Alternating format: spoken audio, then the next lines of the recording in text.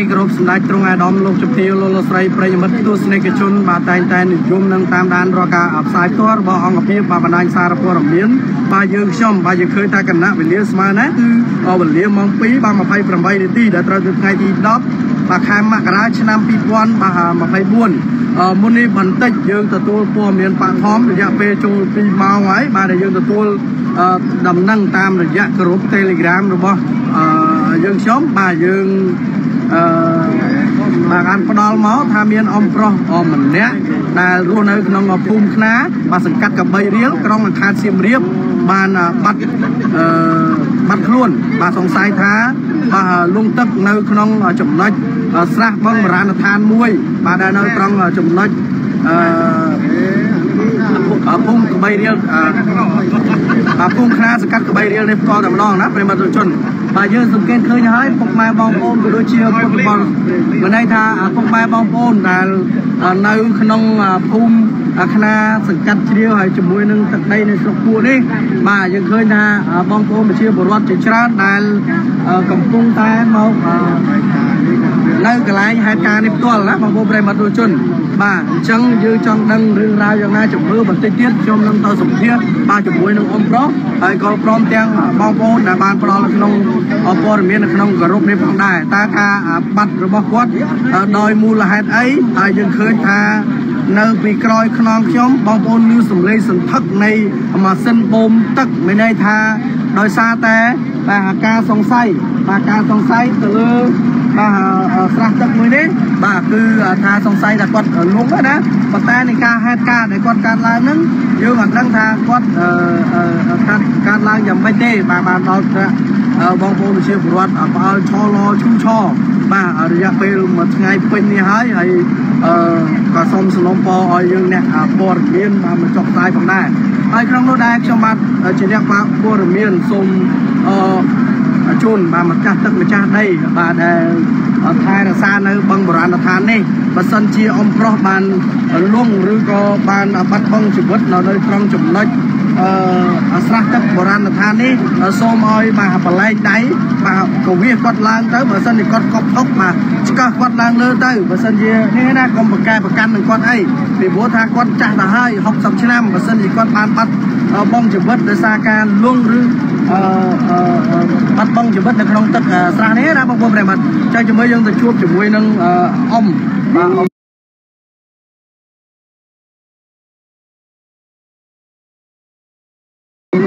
បាទដៃក៏នៅជាមួយគ្នាលពូអាលពូមានឈ្មោះ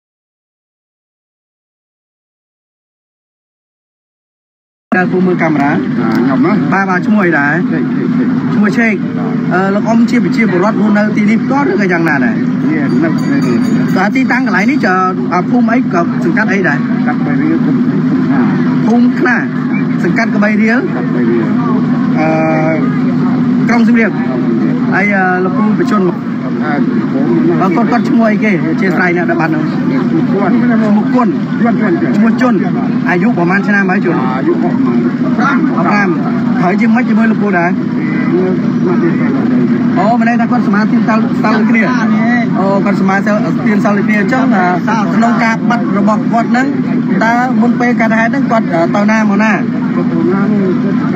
បែបបែបទៅកាត់ព្រៃខាងលិចមិនមែនតែពេលគោពេលអីទេអត់ទេចុះតកាប់ក្រោយពេលដែលតកាប់ហើយតើគាត់នឹងបន្តធ្វើអីទៀតយកយកចំបន្ទុកក្នុងសាលាចុះយកចំបន្ទុកក្នុងសាលាដល់ពេលដែល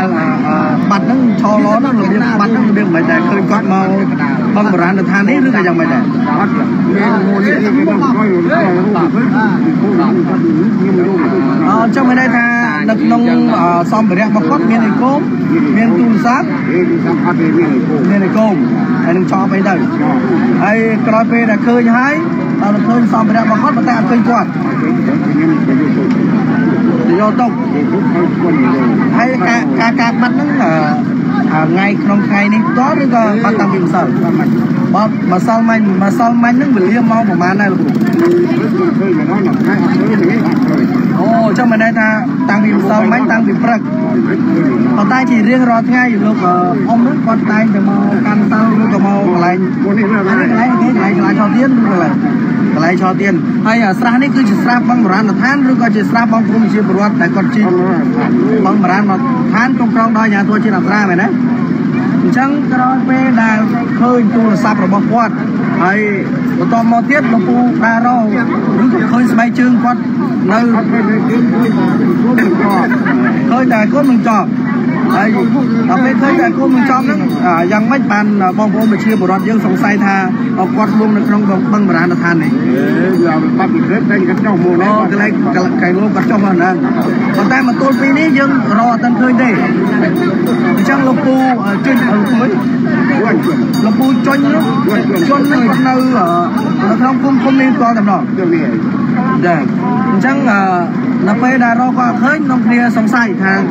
ហើយគាត់លួងអីចឹងទៅតើគាត់មានជំងឺប្រចាំកាយនៅក្នុងខ្លួនយ៉ាងម៉េចដែរអត់មានទេគាត់ពិការបាទបាទជាជារៀងរាល់ថ្ងៃអឺគាត់តែងតែអឺ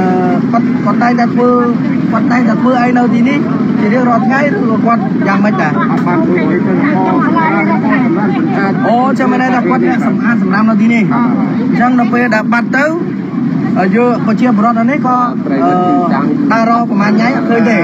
សាមញ្ញជើងណាមិនយកព្រឹកមុនពេលក៏ណាខ្ញុំចង់សួរលោកគ្រូថាតើគាត់មានបាននិយាយថាតលេឯណាឬក៏ដើរណាទៅរកត្រីឯណាទេទៅទេអត់ទេនៅតែហ្នឹងហើយគុំខាតព្រឹកដល់បាទយើងបាននៅគុំខាតគុំខាតចឹង3រៀលណាគុំកាត់3រៀលគុំខាតបាទអញ្ចឹងមកទល់ពេលនេះ ពុកបងប្អូនប្រជាពលរដ្ឋដែលប្រើម៉ាស៊ីនហ្នឹងអស់ប្រហែលគ្រឿងដែរកំពុងធ្វើការបូមនៅនឹងបឹងបរានឋាននេះប្រហែលគ្រឿងបានប្រហែល7គ្រឿង 7គ្រឿងហ្នឹងគឺបូមតាំងពីថ្ងៃណាមកបូមតាំងពីព្រឹកពីព្រឹកម៉ាញ់មកហើយមកទល់វល់នេះមិនខាស់ទេហើយមនុស្សក៏អត់តាន់អត់តាន់ឃើញដែរអឺលោកពូក្នុងនាមជាលោកពូចាស់ទុំតើលោកពូបានបន់ស្រន់ក៏ដូចជាអត់ធូបអីដើម្បីសុំម្ចាស់ទឹកម្ចាស់ដីហើយនៅបន់ស្រន់បាននៅក្នុងឆ្នាំនៅខាងក្រោយដែលជាកន្លែងទីសក្ការៈបងប្អូនប្រជាពលរដ្ឋបានគាត់តែងជំនឿមែនណាបាទហើយនៅក្នុងនោះអឺប្រពន្ធមកគាត់នៅទេនៅឥឡូវប្រពន្ធគាត់នៅណាប្រពន្ធគាត់បាទសុំសុំប្រពន្ធគាត់មកពីខាងគាត់គាត់ហៅហៅ បាទអ៊ំអ៊ំណាដែលដែលទៅតាមទូទានតែធម្មជាតិតែចង់សួរខ្ញុំចង់សួរតែពីជីវប្រវត្តិរបស់គាត់ទេអ៊ំអ៊ំដែលគាត់បាត់ខ្លួនកាលពីម្សិលមិញគាត់មានជំងឺណាខ្លួនតាជន់តាជន់គាត់ជាចាស់ទុំមួយដែលគាត់មកសម្រាប់នៅទីសក្ការៈកន្លែងនេះរាល់ថ្ងៃគឺយ៉ាងម៉េចអូរាល់ថ្ងៃហើយលឺគូថាគាត់នឹងអ្នកពិការជើងទៀតចាំចាំគាត់គាត់ពិការជើងថ្មីក្នុងការក្នុងការបាត់ខ្លួនរបស់គាត់នឹងនៅក្នុងក្នុងថ្ងៃណាដែរម្សិលមិញម្សិលមិញនៅវេលាម៉ោងប្រហែលអត់9ម៉ោង9ហើយលោកអ៊ំអធិស្ឋានខ្ញុំសុំឈ្មោះសួរឈ្មោះនេះអ៊ំអ៊ំនឹងឈ្មោះអីដែរសុភ័ណ្ឌតាប់ខ្លួនតាប់ខ្លួនតាប់ខ្លួនអឺលោកអ៊ំមានបញ្ជនប្រហែលដែរឥឡូវនេះ80ឆ្នាំ លោកអ៊ំជាប្រជាពលរដ្ឋរស់នៅក្នុងភូមិឃុំនេះផ្ទាល់តែម្ដងឬក៏យ៉ាងណាអ៊ំជាអាចារ្យជាអាចារ្យជាជាអាចារ្យមែនមែនហើយអាយុប្រហែលនេះ80ឆ្នាំហើយហើយយ៉ាងម៉េចដែរចំពោះការបាត់បាត់ខ្លួនរបស់អឺលោកលោកអ៊ំអ៊ំខ្លួនហ្នឹងលើក ឃើញលោកអ៊ំណាស់លើឃើញយ៉ាងម៉េចទាំងនិយាយថាការបាត់ខ្លួនរបស់គាត់ណាសង្ស័យសង្ស័យតែអ៊ំមានសង្ស័យសង្ស័យទៅលើការលងទឹកនៅបឹងបរានសំខាន់នេះគឺយ៉ាងណាដែរសង្ស័យទៅលើការដោយសាររបស់ខ្ញុំដោយសារគាត់ពិការដែរបាទចុះជារៀងរាល់ថ្ងៃក្រោយពេលដែលគាត់ បោះសម្អាតឬក៏គាត់ថែរក្សាអាស្រមឬក៏កន្លែងអឺបងប្អូនដែលអឺជាអឺអ្នកដែលគោរពបូជានៅហ្នឹងគាត់តែងតែសម្អាតរួចហើយគាត់ចោះទៅមុជទឹកឬក៏គាត់ទៅដងទឹកនៅស្រះនេះផ្ទាល់ឬក៏យ៉ាងណាអត់ដែរបងអត់ដែរទេខ្ញុំទុកប៉ុន្តែយើងនៅតែសង្ស័យថានឹងអាចថាលងនៅនៅនៅស្រះនេះមែនទេ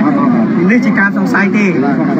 អរគុណណាស់អរគុណអរគុណសម្រាប់ការផ្ដល់បទសម្ភាសន៍អឺបងប្អូនប្រិយមិត្តទស្សនិកជនជាទីគោរពនិងជាទីរាប់អានលោកអ្នកបានស្ដាប់នៃការសម្ភាសន៍បាទជាមួយនឹងខ្ញុំជាមួយលោកអ៊ំដែលជាប្រជាពលរដ្ឋលោកតាដែលជាអាចារ្យបាទដែលគាត់ជាអ្នកដែលថែរក្សានៅក្នុងបាទកន្លែងអឺ គេហៅថាសាលាតំណាក់នេះផងដែរអានេះគេហៅសាលាតំណាក់អីគេនេះបណ្ណាអូនេះគេហៅប្រាសាទណាអូអានេះមានប្រាសាទដែរអូអញ្ចឹងមិនដែរថាកន្លែងនេះមានប្រាសាទបងប្អូនបាទគេហៅថាប្រាសាទប្រាសាទខ្នាបាទអញ្ចឹងចង់ដឹងរឿងរ៉ាវយ៉ាងណាចាំមើលយើងទៅជួបជាមួយនឹងភរិយារបស់លោកអ៊ំជុនអ៊ំជុនណាបាទភរិយាលោកអ៊ំលោកអ៊ំជុនអញ្ចឹងខ្ញុំបានមកចិត្តគាត់ហើយចាំមើលខ្ញុំសភាគាត់បន្តិចបាទជម្រាបសួរអ៊ំស្រី បាទអ៊ំស្រីមានឈ្មោះអីដែរគួងហឿនគួងហឿនគួងហឿនគួងហឿនចាតាបុចេអ៊ំអ៊ំចូលចូលចូលអ៊ំស្រីអាយុប្រហែលហើយ59 59ឆ្នាំហើយបច្ចុប្បន្នកាន់សិលនៅតៅហើតៅហើយណាហើយក្នុងអ៊ំស្រីរបៀងអ៊ំប្រុសអឺបានរួមរស់ជាមួយគ្នារយៈពេលដល់យូរឆ្នាំតើបន្សល់បានទុកកូនប្រហែលដែរ 2ទៅសល់3 45ងាប់អស់2ទៅសល់3ហើយចំពោះអឺលោកអ៊ំប្រុសជនដែលជាស្មាបីរបស់អ៊ំស្រីតើគាត់នឹងអឺមានអាយុប្រហែលហើយ5 15ឆ្នាំគាត់ជាប្រជាពលរដ្ឋនៅក្នុងភូមិភូមិនេះគាត់យ៉ាងណាក្នុងភូមិនេះ អ៊ំបានអឺដឹងទេថាមុនពេលកើតហេតុស្មារតីរបស់អ៊ំអឺនៅពេលដែលគាត់មកកាន់អឺសាលាតំណាក់នេះ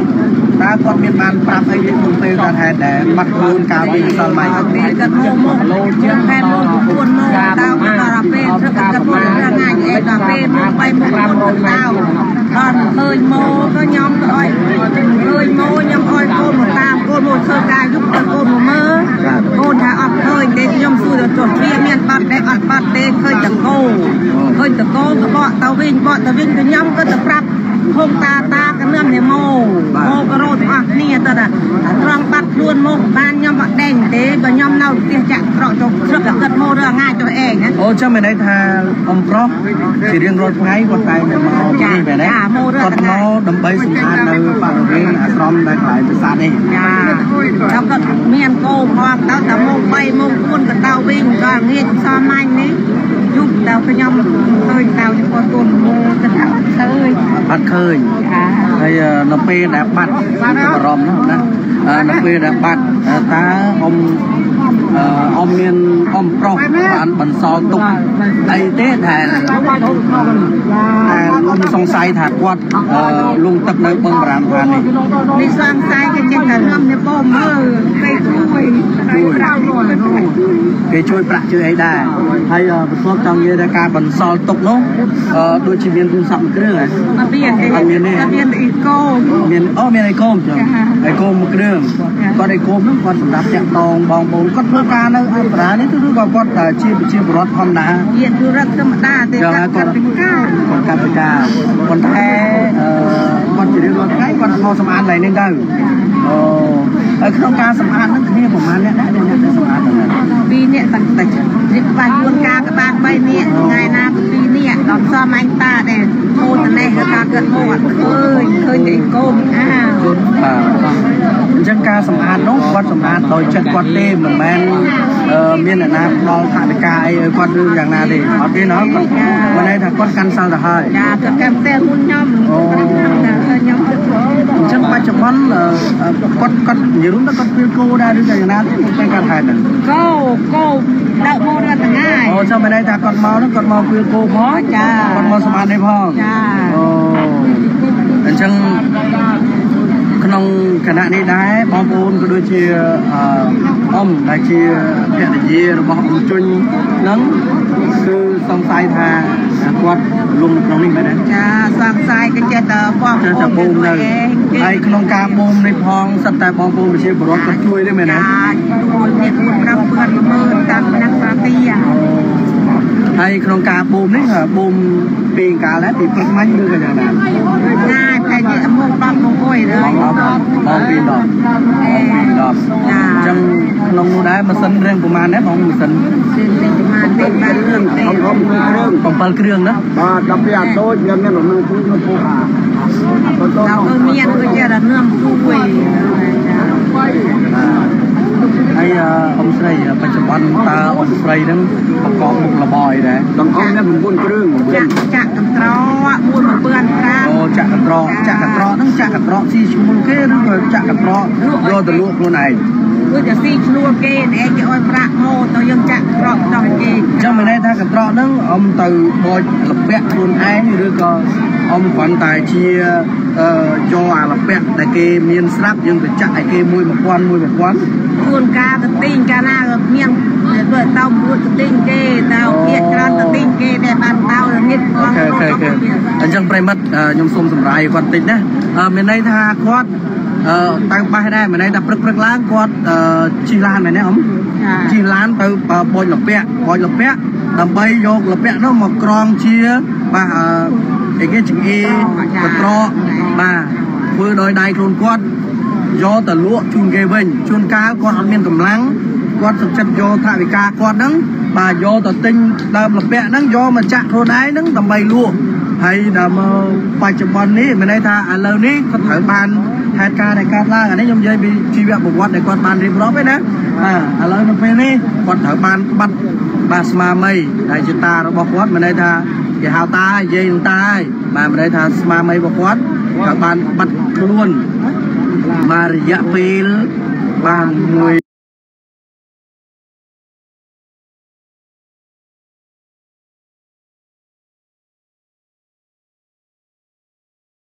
យប់ចាបាត់មកយប់ពីរថ្ងៃណាបាទមកយប់ពីរថ្ងៃហើយ បាទមកទួលពីនេះរកអត់ឃើញទេ បាទអញ្ចឹងខ្ញុំអឺជាអ្នកសារព័ត៌មានហើយព្រមទាំងអឺអ៊ំស្រីបាទដែលជាតាមឯងបាទអឺទៀតទៀតភរិយារបស់ប្រាសាទភូមិខ្នាដែលនៅពីក្រោយខ្នងខ្ញុំនេះ បាទបើសិនជាខ្ញុំផ្សាយទៅ បាទឲ្យបានលឺឬក៏បានស្ដាប់ បាទខ្ញុំជិះមកពីក្រុងឆ្ងាយដែរអញ្ចឹងហើយបើសិនជាលោកអ៊ំជុញ ជួនជន់លោកអ៊ំជន់ខុសពាក្យសម្ដីឬក៏និយាយលើសលប់ទៅលើម្ចាស់ទឹកម្ចាស់ដីបាទដែលជាកន្លែងដែលគាត់ថែរក្សាឬនិយាយលើសលប់បាទនៅក្នុងបុរាណបឹងបរាណដ្ឋាន ដែលជាបឹងដែលជាបងប្អូនប្រជាពលរដ្ឋគោរពបាទនៅការស្រឡាញ់នៅអបិយជំនឿរបស់បងបងប្អូនជាពលរដ្ឋនេះសូមកុំអសូមខន្តីអភ័យទោសទៅដល់រូបគាត់ផង អាចចាប់ដៃចាប់ជើងគាត់បំផុសបើសិនជាតាក់នៅក្នុងប្រឡាណាមួយឬក៏កប់នៅក្នុងផុកណាមួយ បាទឬក៏ទើសនៅក្នុងចំណុចណាមួយ បាទសូមឲ្យតែម្ចាស់បន្ទឹកម្ចាស់ដីដែលស្ថិតនៅក្នុងភូមិខ្នាសង្កាត់អឺកបីរៀលបាទអឺនៅក្នុងខេត្តសៀមរាបនេះបាទសូមអឺអឺអឺបំផុសគាត់ឡើងបាទដើម្បីឲ្យ ភរិយារបស់គាត់បានស្ងប់ស្ងាត់បើសិនជាតាបានទៅហើយបើសិនជាអឺម្ចាស់ទឹកម្ចាស់ដីបានយកជីវិតគាត់ទៅហើយអញ្ចឹងហើយគាត់សុំតែរូបរាងកាយពិតបាទសុំតែរូបរាងកាយពិតរបស់គាត់ដែលបងប្អូនឈួលបងប្អូនបងប្អូនគាត់ដែលបងប្អូនទាំងអស់បាទដែលគាត់មកបាទដើម្បីចំរំមើលដើម្បីជាការអឺលើកទឹកចិត្តនៃការលើកស្ទួយមានន័យថាការជួយគ្នា បាទក្នុងពេលដែលបាទបងប្អូនប្រជាពលរដ្ឋគាត់មានបញ្ហាអញ្ចឹងហើយយើងឃើញហើយប្រិមិត្តបាទនេះសត្វតែការចូលរួមបាទរំលែកទុកចូលរួមសាមគ្គីគ្នាចូលរួមបាទនៃការឲ្យកម្លាំងបាទជាម្ចាស់មានន័យថាគាត់ដែលអឺត្រូវជាភរិយាបាទរបស់អ៊ំជុញបាទអ៊ំអ៊ំជន់ខុសរហូតបាទ អ៊ំជន់បាទដែលជាភរិយារបស់អ៊ំជួនហ្នឹងបាទគាត់បានសោកស្ដាយយ៉ាងខ្លាំងដែលបានបាត់បង់នៅអឺស្មារតីរបស់គាត់គាត់កសាងគាត់បង្កើតស្នាមនៃការស្រឡាញ់តាំងពីតូចតាំងពីការចាប់ផ្ដើមរហូតដល់គាត់ចាស់ជរាប៉ុណ្ណេះបាទការបាត់បង់គាត់ពិតជាស្លុកស្ដាយមែនទែន បាទអញ្ចឹងហើយបើសិនជាគាត់បានបាត់បង់ជីវិតទៅហើយបាទសូមចាស់ទឹកចាស់ដីជួយបំផុសបំផុលឲ្យឡើងមកបាទវិញមកបាទហើយសម្បីតែបងប្អូនប្រជាពលរដ្ឋក៏គាត់បានមកចោមរោមើលដែរបាទចោមរោមើលដែរអញ្ចឹងហើយយើងសង្ឃឹមបាទអឺយ៉ាងមុខមាំយើងសង្ឃឹមថាបើសិនជាគាត់នៅមានជីវិតបើបងប្អូនណាឃើញគាត់មានរូបថតគាត់ទេ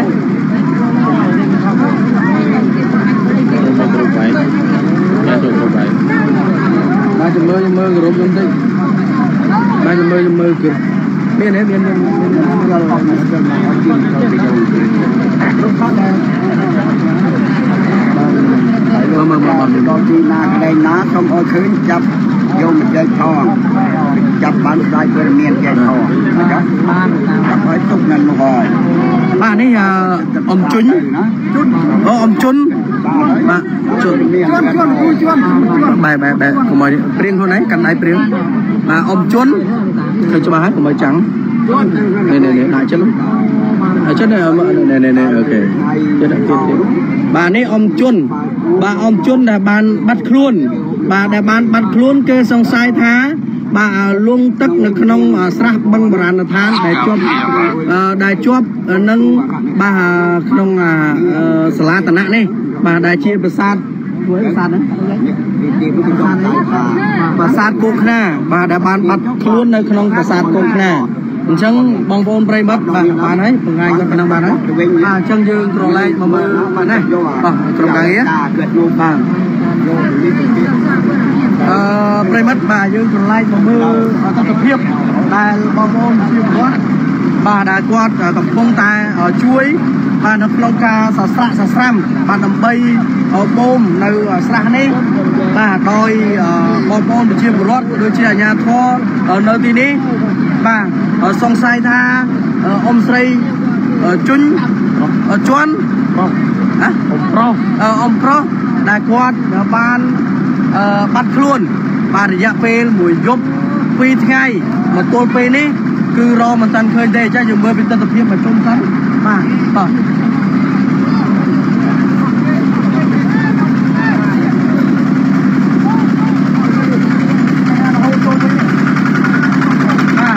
បងប្អូនប្រិយមិត្តបានលឺសន្ធឹកបាននៃសំឡេងនៃការបូមដែលបងប្អូនប្រជាពលរដ្ឋគាត់ ជួយមានន័យថាការបូមនេះគឺជាការបូមបាស្រះបាស្រះនៅទីនេះដើម្បីឲ្យរីងដោយសារតែបងប្អូនប្រជាពលរដ្ឋបានគាត់សង្ស័យថាអ៊ំប្រុសដែលបានបាត់ខ្លួននឹងគឺបាទសង្ស័យថាលងដោយសារគាត់អឺពីការផងនេះជាព័ត៌មានបាក់បននៅឡើយទេបងប្អូនប្រិយមិត្តទុជនបាទយើងមិនទាន់ចេញជាផ្លូវការនៅឡើយទេបាទហើយក៏ យើងក៏បានសម្ភាសទៅលើបងប្អូនប្រជាពលរដ្ឋមួយចំនួនដែលគាត់នៅទីនេះដែរបាទគាត់ក៏លើកឡើងដូចដូចគ្នាសង្ស័យថាលងទឹកអញ្ចឹងយើងត្រូវបន្តមកជុំជាមួយនេះបាទ នេះ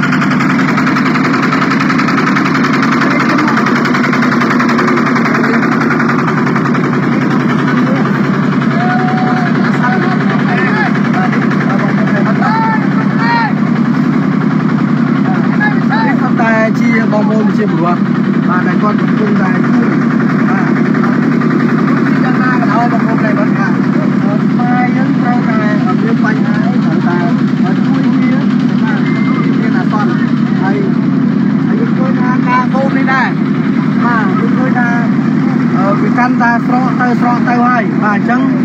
បងប្អូនខ្លះគេហៅថាបែបគេហៅថាជំនាញគាត់ដែលគេត្រូវតារោណា ដូចជាគេមានសាលានេះអានេះអានោះនេះ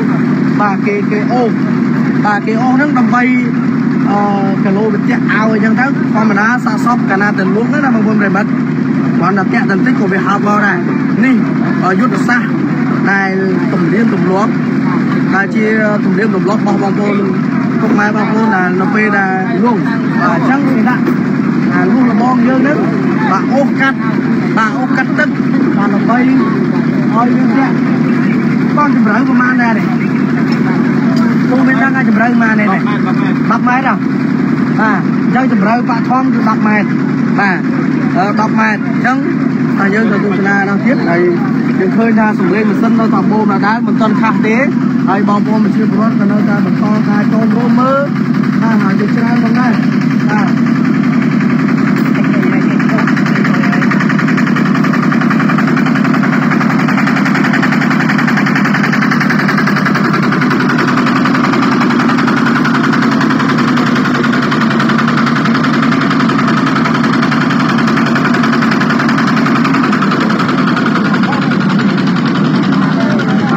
តែបាត់ទូជនអត់កន្លែងទៅមើលទៅបាទគឺបន្ទូ ពេលនេះបងប្អូនប្រជាពលរដ្ឋក៏នៅតែអឺបន្តមកគេហៅថាចូលរួមមើលដែរអញ្ចឹងហើយអឺខ្ញុំនឹងអត់ធុកបាទដើម្បីសុំម្ចាស់ទឹកម្ចាស់ដីបាទបន្តិចទៀតបាទអញ្ចឹងខ្ញុំឲ្យគាត់អត់ធុកឲ្យខ្ញុំសិនព្រោះនៅនេះមានប្រមាណនៃអឺដែលបងប្អូនគោរពបូជាអញ្ចឹងអឺ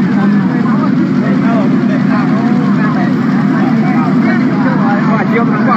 របស់ទីគាត់បាញ់ទីហ៎របស់ហើយ9សៃដល់ខ្ញុំ9សៃ3ដងមកក្នុងនេះមានមានមានកន្លែងនេះមួយមែនទេកន្លែងនេះមួយហើយខ្ញុំសាក់មួយអានេះសុំ9អានោះសុំ9ហើយខ្ញុំដុតកន្លែងនេះ9ទៀតអញ្ចឹង9ដង8 3ដង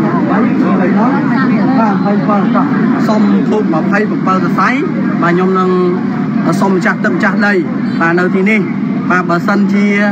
បាទការស្លាប់របស់អ៊ំប្រុស ជនដែលបានដែលប្រជាពលរដ្ឋសង្ស័យថាលងទឹកនៅទីនេះបាទទីទៀតខ្ញុំឲ្យភរិយារបស់គាត់បាទទៅបួងសួងបន់ស្រន់បាទជា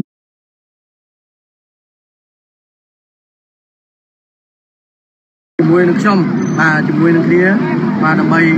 សុំឲ្យគាត់ខុសឡើងបើសិនជាគាត់បាត់បង់ជីវិតដោយសារការលងនៅក្នុង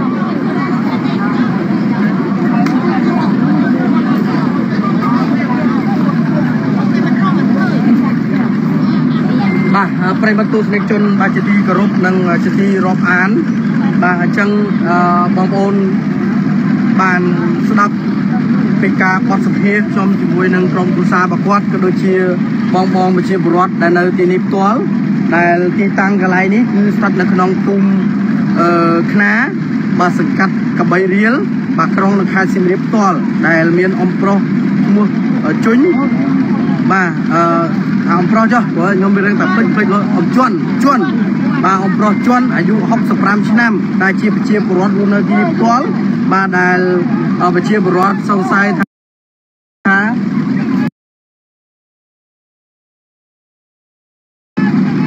ហាចុំអីហាអូស្មានរកឃើញហើយបាទដែលសង្ស័យបងប្អូនប្រជាពលរដ្ឋថាអ៊ំ ជន់នេះបាទគាត់អឺត្រូវលងទឹកនៅទីនេះបាទអញ្ចឹងហើយយើងឃើញថាយើងកន្លែងមកជំវិញស្ទើរតែជាបងប្អូនប្រជាពលរដ្ឋដែលគាត់ខ្លះតែគាត់យកឧបករណ៍ផ្សេងផ្សេងៗដែលត្រូវអូសកាត់នៃទឹកស្រះនេះបានដើម្បីគីឡូថាទាញចុងអាវរួចគាត់ជើងដើម្បីឲ្យផុសធម្មតាជាធម្មតាសាក់សពកាលណាតែលងទឹកបាទគេតែងតែឃើញយកអឺ សំណាញ់បងយកខ្សែលួសលបងអូសកាត់ឬក៏ផ្សេងផ្សេងតាមអ្វីដែលបាទបងប្អូនដែលគាត់ធ្លាប់ធ្វើណាបាទតែអឺគ្រប់ចំនួននៅហើយ7ហើយ7សូមសូមស្រ័យនេះមក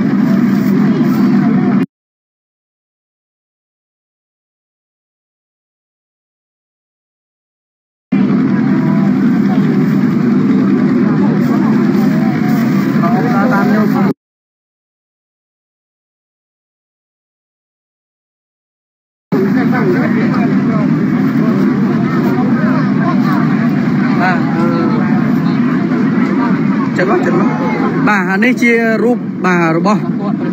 នេះជារូបរបស់គាត់ណាបងប្អូនប្រិមិត្តបាទអអានេះជាអឺអំប្រុស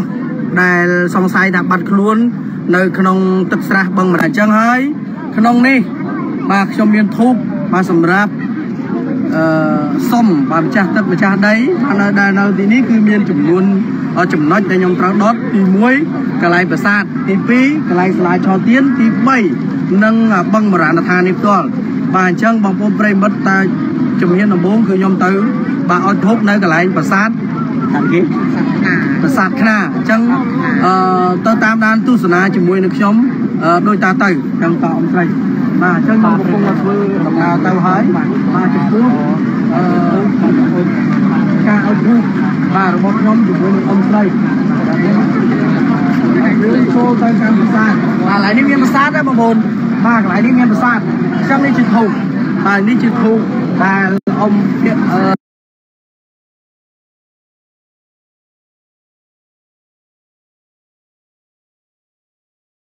ភរិយារបស់គាត់អុចឲ្យខ្ញុំបាទហើយក្នុងភូមិនេះដែរគឺខ្ញុំតែងតែអុច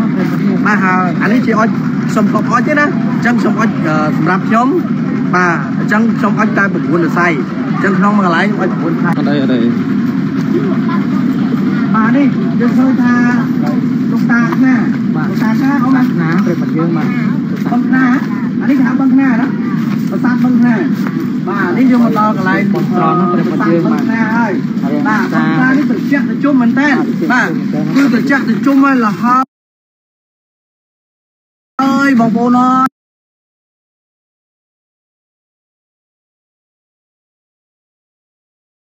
ហើយមើលនេះកន្លែងមើលកាមេរ៉ាបាញ់មើលជុំវិញសិនមើល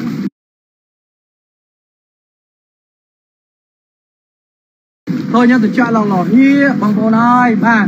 chân giờ cơm ta lục ta bằng khná đây là ở thái để xa nơi tí ní đây chia bò bò mà chia bò rót đại quát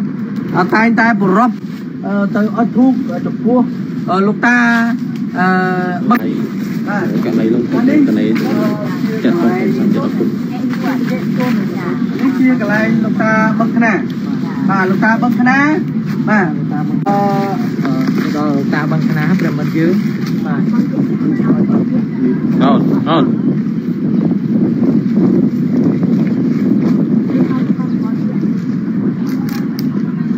បាទហើយនៅខាងក្រោយតឡាថោទៀតអំបែមកណែមកបែអូនអូនជួយជួយឲ្យចាទូកអានេះឲ្យអស់អូនណា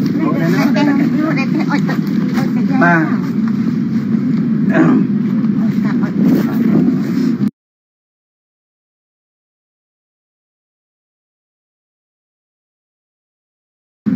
អឺបាទអឺចាស់ទឹកម្ចាស់ដីលោកតាបឹងខ្នាអញ្ចឹងណាអឺ លោកតាប្រាសាទខ្នាបាទខ្ញុំតំណាងឲ្យក្រុមគ្រួសារដែលជាអ៊ំស្រីដែលជាភរិយាបាទរបស់អឺលោកអ៊ំជាជនបាទអញ្ចឹងឲ្យឲ្យតិចអូនបាទអត់ទៅទៅទៅទៅមកទៅអត់អីទៀតនេះចាំហើយបាទក្នុងនេះដែរយើងឃើញថាបាទបងប្អូនបាទដែលជាប្រជាពលរដ្ឋ បាទឃើញថាមានមន់អានេះគឺគេសែនណាមានស្រាមានក្រូចមានបាទត្រីមានមីមានបន្លែគ្រប់មុខបាទដែលជូនទៅដល់លោកតាដើម្បីឲ្យបាទស្មារតីរបស់គាត់ដែលបានបាត់ខ្លួន បាទដែលសង្ស័យថាលងទឹកនៅក្នុងបឹងបរាណដ្ឋាននៅខាងមុខលោកតានេះបាទសង្ឃឹមថាលោកតាដែលជាម្ចាស់ទឹកម្ចាស់ដីដែលជាអ្នកថែរក្សានៅក្នុងអឺប្រាសាទបឹងខ្នានេះ បាទប្រាសាទបឹងខ្នាចឹងអត់មែនប្រាសាទបឹងខ្នានេះសង្ឃឹមថាមិនយកទោសមិនយកបៃទៅដល់អ៊ំប្រុសទេព្រោះគាត់ជាអ្នកថែរក្សានៅទីនេះដែរបើសិនជាខុសមាត់ខុសកលលូកអីខុសប៉ះអីអីអត់ប្រកាន់អីចឹងណាកុំប្រកែប្រកាន់នឹងគាត់អីអញ្ចឹងសូមឲ្យអឺសូមឲ្យអឺសាកសពគាត់ឬក៏ខ្លួនគាត់បើសិនជា បាត់បង់ជីវិតទៅហើយក៏ឲ្យរកសាកសពឃើញទៅហើយបើសិនជា អឺបើសិនជាមិនមិនមិនមិនមិនមិនបានបង់បាត់បង់ជីវិតទេក៏សូមឲ្យរកគាត់ឃើញចុះអញ្ចឹងណានេះហើយជាការសុំបាទអវកពីខ្ញុំហើយនឹងអឺភរិយារបស់គាត់បាទអ ខ្ញុំសង្ឃឹមថាលោកតាដែលថែរក្សានៅទីនេះបាទមិនថាអីទេបាទមិនថាអីទេខំមកខកកអីគួរធម្មតាហើយកូនចៅបាទវាតែតែមានការខុសហើយអញ្ចឹងសង្ឃឹមថាលោកតាមិនប្រកាន់ទេបាទជួយបាទជួយធ្វើម៉េចឲ្យឆាំឃើញបាទឃើញថាមួយយប់មួយថ្ងៃទៅហើយអើមួយយប់ពីរថ្ងៃទៅហើយអញ្ចឹងបងប្អូនប្រិមិត្តបានប៉ុណ្ណឹងហើយតើខ្ញុំទៅអត់កន្លែងកន្លែងសំណាក់កន្លែងសាលាតំណាក់បាទលោកតាបាទ កន្លែងសាលាតំណាក់លោកតាយើងឃើញថាកន្លែងចាក់ប្រជុំណាបងប្អូនអើយបាទគឺចាក់ប្រជុំមែនទេបាទ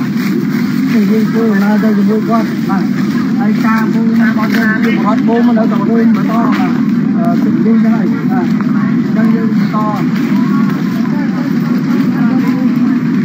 នេះនេះខាងកន្លែងសាលាតំណាក់យើងធ្វើអីណា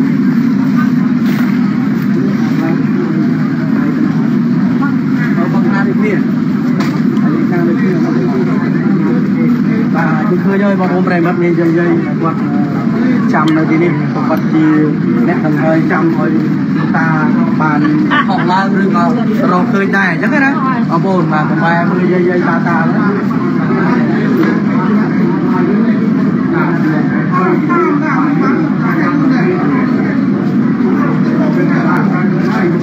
អឺ បាទសូមបាទអញ្ចឹងមកដល់កន្លែងសាលាតំណាក់ហើយយើងសង្កេតឃើញថាអ៊ំចាស់ចាស់ចាស់ចាស់ចាស់ព្រឹត្តិការណ៍ហើយបងយ៉ាងប្រតិបត្តិបាទក៏មកនៅគុំនោះនេះហើយបាទមកណាចង់ទុកចៃនេះក៏ទុកទៅបានប្រាប់ការមកនេះដោយសារតែអឺ ស្មារតី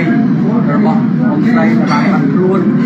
បាននៅទីនេះរយៈពេលមួយយប់ពីរថ្ងៃហើយអញ្ចឹងសម្រាប់ខ្ញុំបាទអត់គូបាទបីសូមអរគុណដល់ចាស់ទឹកចាស់ដីទេវតាដែលថែរក្សាលោកតាដែលថែរក្សានៅទីនេះបាទសូមឲ្យអ៊ំប្រុសដែលបានបាត់ខ្លួនអ៊ំប្រុសដែលបានថាសង្ស័យថាលោកនឹងទឹកសូមឲ្យផុសឡើង បាទបើសិនជាគាត់បាត់បង់ជីវិតបើសិនជាគាត់បាត់ខ្លួនសូមឲ្យរកឲ្យឃើញបាទសូមឲ្យរកឲ្យឃើញចឹងហើយខ្ញុំសូមឲ្យគ្រប់ការដំណឹងខ្ញុំ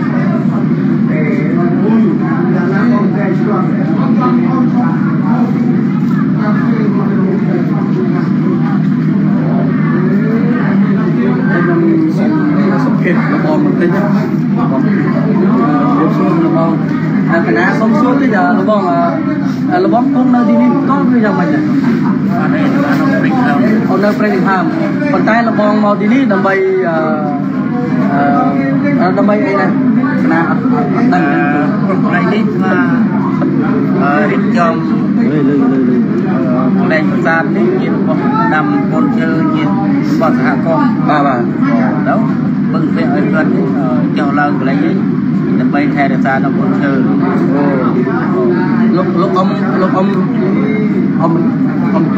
ចាក់ជន់ហើយជន់ចាក់ជន់អ៊ំអ៊ំជន់ហ្នឹងគាត់នៅថែរក្សានៅទីនេះរហូតដែរគាត់ចុះឡើងចុះឡើងចុះឡើងចុះឡើងប្រចាំការកណាចង់សួរលបងថាគាត់មុនពេលការថែលបងមានដឹងថាគាត់ គាត់បាត់តាណាឬក៏យ៉ាងម៉េចដែរលបងមិនដឹងមិនដឹងទេប៉ុន្តែដំណឹងដែលទទួលបានហ្នឹងអឺ ពីថ្ងៃណាដែររបស់ទទួលបានពីល្ងាចម៉ោង7ពីល្ងាចម៉ោង6 7អញ្ចឹងតាំងពីម៉ោង6ម៉ោង7ហ្នឹងរបស់មកគង់នេះបានប្រហែលថ្ងៃអត់ទេទៅម៉ោងទៅម៉ោងទៅបាញ់3ហើយបង3ហើយទៅ3យើងទទួលពុតបរិស័ទទៅយើងរងចាំជួយមើលជួយមើល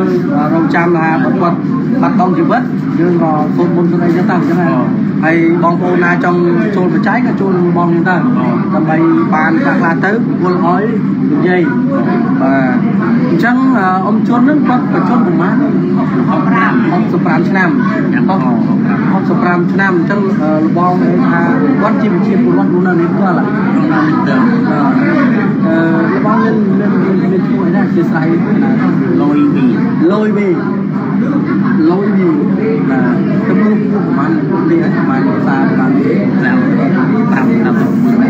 30 30ឆ្នាំភាសាហើយ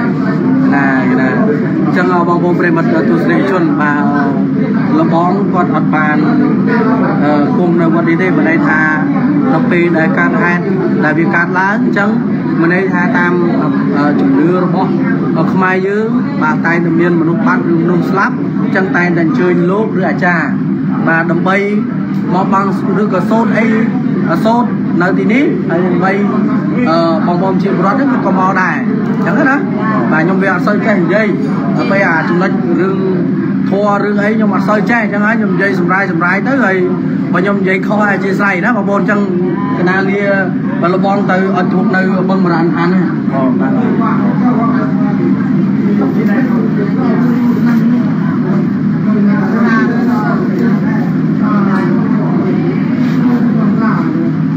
ចឹងបងប្អូនប្រិយមិត្តទស្សនិកជនបាននៅអឺបាទយើងបន្តទៅបាទកន្លែងបឹងបរានឋានទៀតយើងគឺដើរនៃការអុជសុំ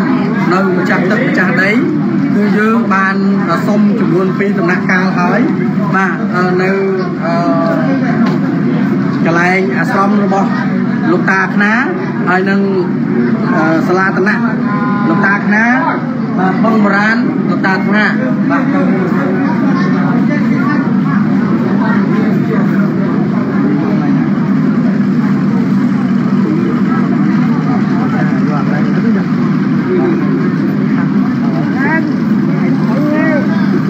ចឹងបងប្អូនបាទលោកជិតអស់ហើយអឺនិយាយសុំថ្ងៃនេះនឹងគ្នាយ៉ាយ៉ាយ៉ា ទៅតែដេកបោហើយសុំឡាយនេះណាអឺបងប្អូនចាំទឹកចាទៅទៀតហើយដេកបោទឹកមុនថ្ងៃទឹកនៅលើនេះចាទឹកនៅលើហើយបូមបូមនឹងរីងហើយអឺកាមេរ៉ាចាប់យកទស្សនវិជ្ជាបន្តិចសិនណាបាទនេះទស្សនវិជ្ជាបងប្អូនប្រជាពលរដ្ឋបាទដែលបាទគាត់នៅជុំវិញស្រះដែលជួបបូមណាអឺបងបងអាចនេះដាក់ទៅ វិញទៅឆ្វេងទៅស្ដាំទៅវិញទេអត់ទៅបាច់រេចង់មកណាចង់លើកបីនេះលើក្រោមគុំឲ្យគាត់ខំគាត់ស្ដាល់ឥឡូវក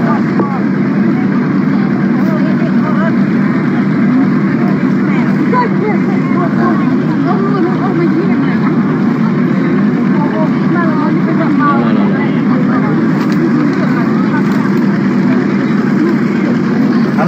នុងធុងនេះខ្ញុំឲ្យអ៊ំស្រីអុចម្ដងដែលជាអឺភរិយារបស់គាត់ហើយគាត់សុំម្ចាស់ទឹកម្ចាស់ដីនៅអឺបឹងបរានឋាននេះណាគាត់ចាប់ចាប់វិជិតជួយឲ្យឃើញឡើងឲ្យឃើញមកបងប្អូនគេជួយថែណាណាណាទូរស័ព្ទខ្ញុំនេះណាស្រាប់បាយនៅបាយហ្នឹងនៅកន្លែងនេះដែរនៅកន្លែងណានឹងកប៉ៅបាយស្អីគេចុះអត់ទេ នៅនេះទៅទៅនៅនេះឲ្យនេះ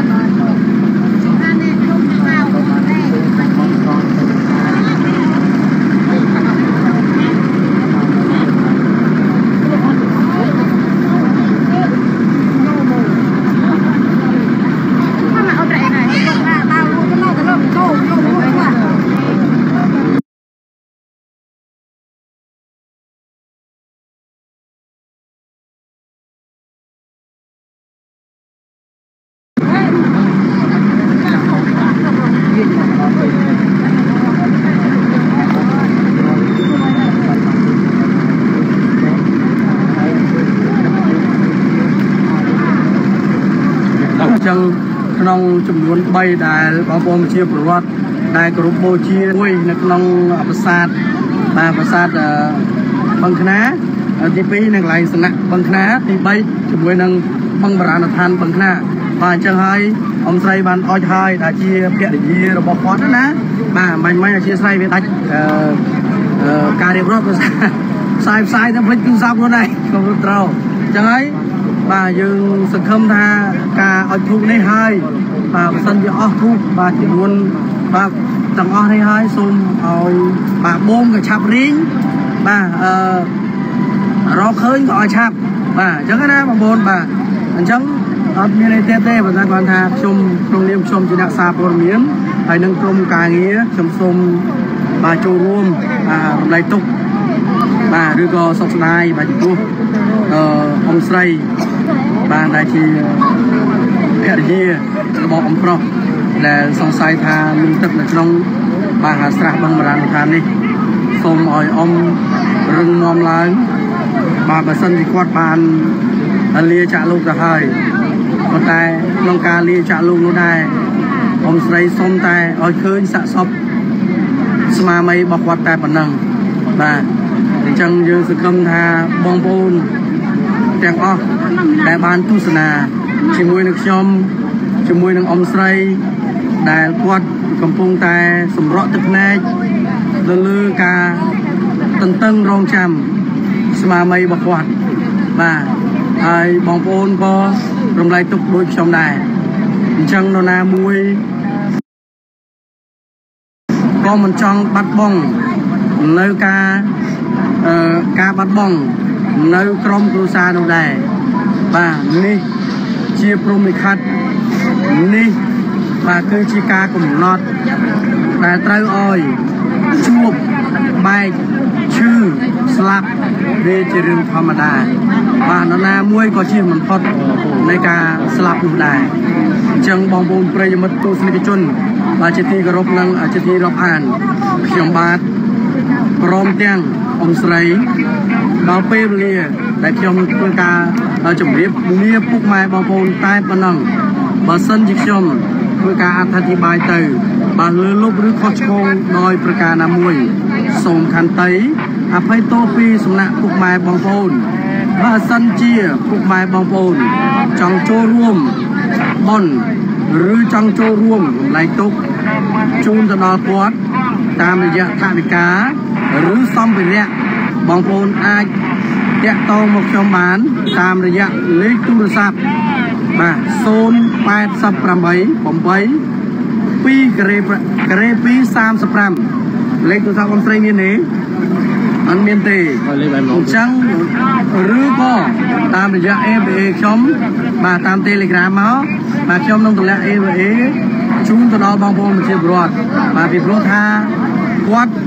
ខ្សត់ខ្សោយទៅហើយបាទមានន័យថាគាត់រាល់ថ្ងៃគឺគាត់ បាទប្រកបមុខរបរទីទួយទេ បាទដើម្បីចិញ្ចឹមជីវិតបាទអាកូនហើយនឹងប្តីបាទប្តីពិការឥឡូវប្តីទៅបានបាត់បង់ជីវិតទៅហើយបាទយើងឃើញថាពុកម៉ែបងប្អូនប្រជាពលរដ្ឋនៅទីនេះក៏មានការចូលរួមចូលបន់ខ្លះណាស់ដែរបាទជូនទៅដល់គាត់ប៉ុន្តែមកទល់ពេលនេះមិនទាន់រកឃើញនៅឡើយទេនឹងហើយគេហៅថានៅតែរុនធត់នៅតែញាប់ញ័រនៅតែបារម្ភនៅតែចង់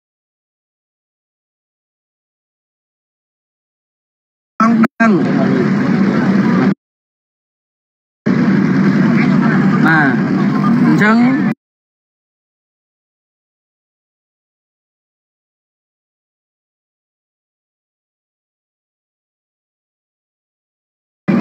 ខ្ញុំក៏